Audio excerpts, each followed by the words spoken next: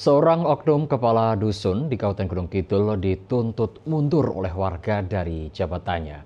Warga geram karena oknum tersebut diduga menjalin hubungan terlarang dengan salah seorang warganya. Ratusan masyarakat di Padukuhan Kerjo 2 Kalurahan Genjahan, Kapenawon, Ponjong, Kabupaten Gunung Kidul berdatangan ke Balai Kalurahan Genjahan. Kedatangan mereka untuk menyampaikan tuntutan kepada pemerintah Kelurahan Genjahan agar memberhentikan SR Duku Kerjo 2 dari jabatannya. Hal itu dilakukan lantaran masyarakat Padukuhan Kerjo 2 merasa malu atas perilaku dukuhnya yang sudah melakukan tindakan asusila. Ia diduga telah menjalin hubungan terlarang dengan salah satu warganya selama kurang lebih empat tahun.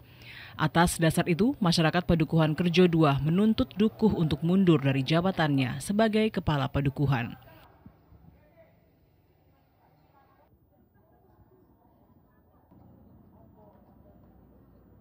Jadi selama dia menjabat kepala dukuh itu baik dengan masyarakat. Tapi kok di belakang keluarganya sendiri atau anaknya sendiri dimakan. Pokoknya dari warga masyarakat tetap mundur dari jabatan Menyikapi hal itu, Lurah Genjahan menyampaikan bahwa pihaknya akan segera menindaklanjuti laporan dari masyarakat sehingga masalahnya tidak berkepanjangan dan segera diselesaikan. Baru kita akan lobby-lobby apakah hal ini bisa dilanjutkan atau cukup diselesaikan dengan kekeluargaan. Dari laporan yang sudah disampaikan, pemerintah Kelurahan Genjahan segera membentuk tim investigasi untuk segera menyelesaikan masalah itu.